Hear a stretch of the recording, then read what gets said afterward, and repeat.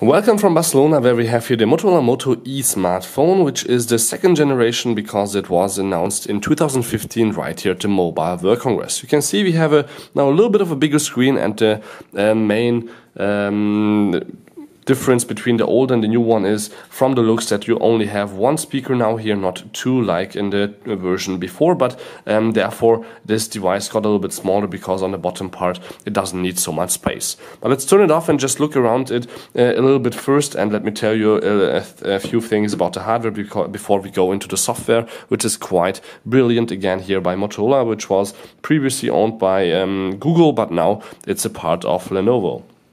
So you can see here we have a beautiful camera with 5 megapixels. That didn't change much, but we have an autofocus now. Before it was a fixed focus lens. Also here there is a, a microphone built in. Here's a little um, a Motorola logo, which feels still quite nice here for the finger if you just hold it like that in your hand. And otherwise you can see here the soft touch back cover, which, uh, which is not removable.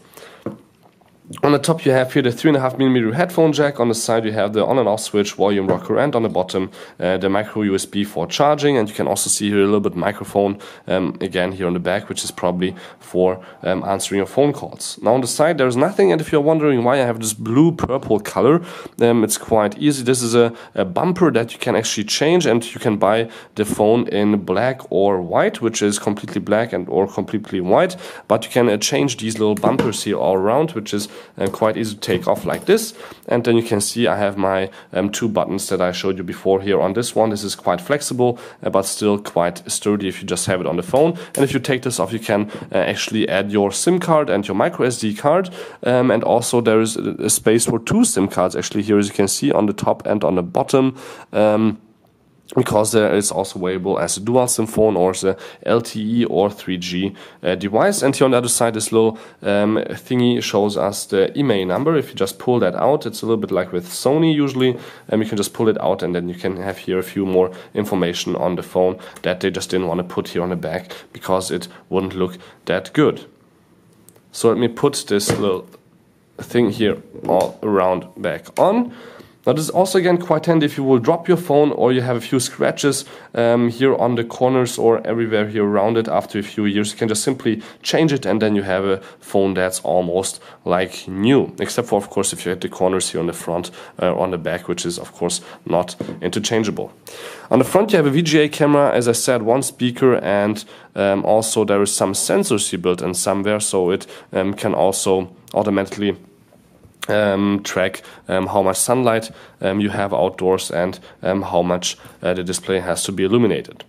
So usually the phone is of course off and if you pick it up it should show us the time as it does right now so it's quite a um, handy feature. It doesn't uh, support double tap or anything like that uh, but it has this nice little gesture uh, feature and there's a few more features that you probably already know from the Moto X or Moto G um, last year. Now the Moto E has it also and it's a 430 bucks a cheap phone which is uh, just quite great um, with an um, amazing amount of features and already the latest Android installed Android 5.0 Lollipop pop as you can see already with my um, notifications that I can just slide up and then um, use. And also you have access right away to your phone and to the camera feature, um, which is quite handy or you just simply unlock the phone and then you are in your home screen. Now we have here 4.5 inch screen. It's a little bit bigger than the 4.3 from last year, um, but we have still the same resolution of 960 um, times 540 but it's still quite sharp and it runs really smoothly because we have 1 gig of RAM and the latest Snapdragon 410 processor inside, which is a quad-core processor and also supports LTE 4G. So you can see here in the apps, it's again quite smooth. You can go back out here and you have all these nice little animations. Like for example, if you just pull here down from the top and go a little bit further down, you can see here all the settings that you can set up.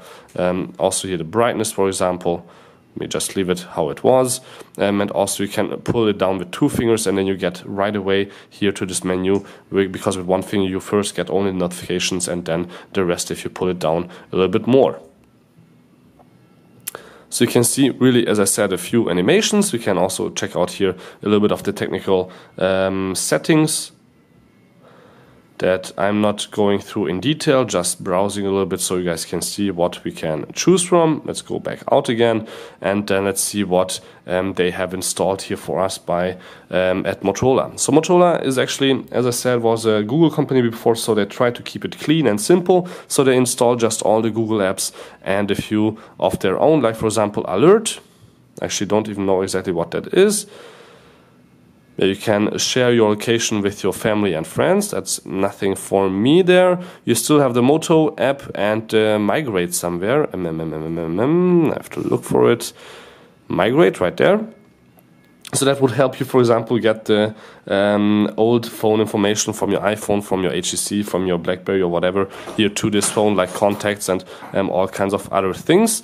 Again, not something for me, but what's quite handy is probably here Moto, which is helping you, for example, assist. So um, it keeps things quiet and dark at night. For example, you can set up what time that should be, like from 11 to 6, or you can also say when you're in a meeting that it shouldn't um, uh, do too much here um, on the device itself when you're in a meeting. You can also say quick capture for pictures. I will show you in a second what that means.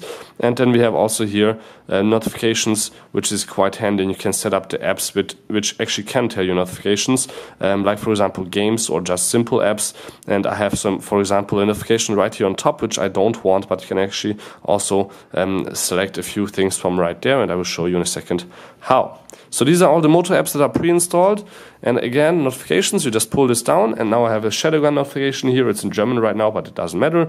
I just have to hold it for a little while, hit on the information button here, and then I can say I want to block notifications from this app or give it actually even priority if I want to. So I can just say here block, and then I will not get notifications anymore by um, sh um, Shadowgun. So as you can see, as I said, it's really quite quick. We can also check it out in the benchmarks where we got an Antutu 22000, which is actually not that much if you go into the ranking. It's right here on the bottom at the Zenfone 5, which is also a quite cheap phone, but it still feels really quite good because the software engineers um, yeah, laid an eye on um, that they make it really smooth for everybody that wants to use it. And again, there's a quite a, a, few cool features inside, like for example, you can um, use the OK Google phrase where it's listening to us and it can ask, for example, uh, the weather in Barcelona. But I was just talking too much, so let's start it again. Okay, Google, what's the weather in Barcelona? It's 15 degrees and mostly cloudy in Barcelona.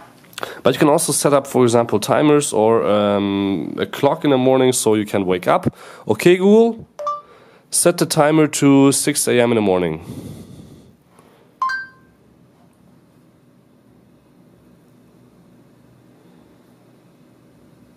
Setting timer. Then it's counting back till 6 a.m. in the morning. We can also just uh, do a wake up call, anything like that. And uh, Google can do all of that, but just by not even touching the screen. So that's quite handy. And you have also the possibility, of course, to look at all the apps that are open right now. There's quite a few here. It's a little bit not that handy if you have really a lot of apps open like I do right now because you have to close them separately. There's no button to close them all. For notifications, there is actually a button, but um, here, for example, I have to do this, uh, which is not that uh, great. But what's actually quite interesting is if you go into the browser and you open up a new web page, like for example, let's go to the New York Times. .com. You can also see the keyboard is quite nice here on the bottom, looks beautiful. That's a standard Lollipop keyboard and it's also flipping quite quickly. You can see then that we have here now this open as a tab. You can of course open a new tab, but when you open all the apps, you have also the tabs here as apps listed, like for example The Verge, or I have some other sites like my Hungarian site here open that I can just open up. It's reloading then, so it's not keeping in cache the, the site open, which is a little bit sad because if you want to go offline and just read a few articles, that's quite yeah, unhandy, but you can now see that we have here the two tabs open also here, so you don't have to press this and then somewhere the tab button, I think, to go left or right. Anyhow, so this was that. Now again to the gestures, you can just shake your phone and then the camera opens up. Now we already know that from the Moto X, Moto G, and then you can take a picture, for example, of this pine cone or whatever by just pressing the screen and then you can watch, uh, look at the picture result here by just swiping to the left or right. I took a few pictures before, a video for example. But what's a little bit sad now is that low light, the pictures are really not that good. This is the hall here behind me um, from last night and there's no flashlight. So that's of course a little bit sad, but it's a cheap phone. So it's understandable. And there's also of course no flash for the front where you have just a VGA camera. I can show you that um, that the quality there is also not the best, but it's enough for just some basic pictures as you can see here. Now if you just want to go into the setup, just have to swipe from the left to the right. And then you have your HDR mode, your touch to focus mode, video mode, um, timer, you can also select if it should um, save to microSD. MicroSD slot um, is expandable to up to 32 gigs, not more, so no 64 or 128. You can also turn off the sound, and you can also say um, if it, the the the, uh, the, picture should be widescreen or just a standard uh, 4.9 megapixel or 3.7 megapixels. Alright, so there's not much else to show you guys except for a little bit of gaming. Then we are already finished here with my Motorola Moto E review of this second generation. We put that pinecone away. Now with a 4.5 inch screen and compared to the 4.7 inches of the iPhone 6 for example, you can see here that it's really a lot smaller even though the display is not that much smaller than an iPhone. But of course price wise this costs 5 times the price so that's not even fair. I don't have the Moto G or the Moto E of the last generations here for you guys right now, but we will shoot a comparison video soon, so watch out for that.